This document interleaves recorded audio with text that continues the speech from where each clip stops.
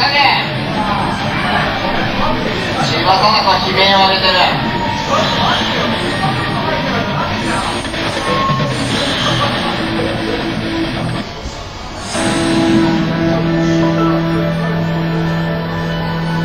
はいなんか全然称号上じゃないですね。もうはい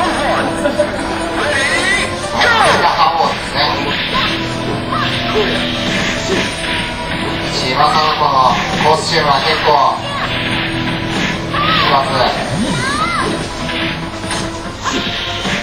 さあ愛するポッポはもうなんかチケットアイがいっぱいついてて結構やってた感がすごいある影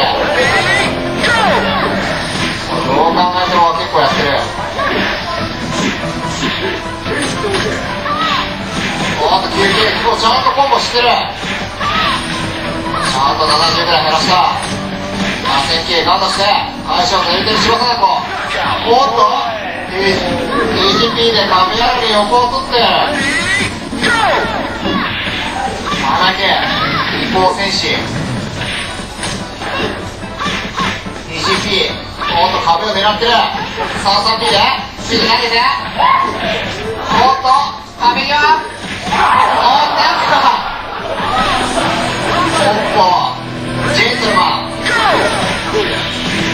サービス精神がある。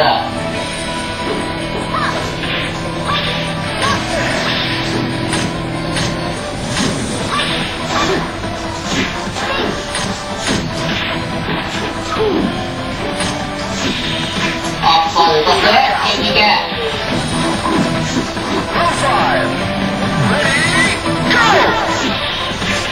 両立 PJ 下パン開始攻撃ゲンヨ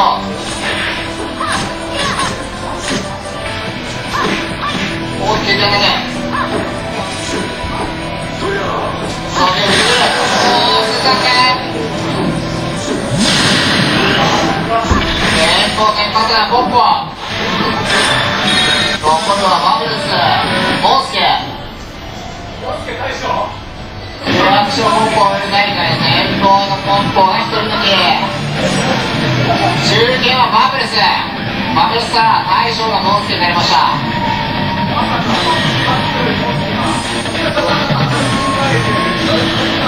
ここは空気を読んだ対象戦になるように仕組まれているのか。お互いの合意があるのかこれは。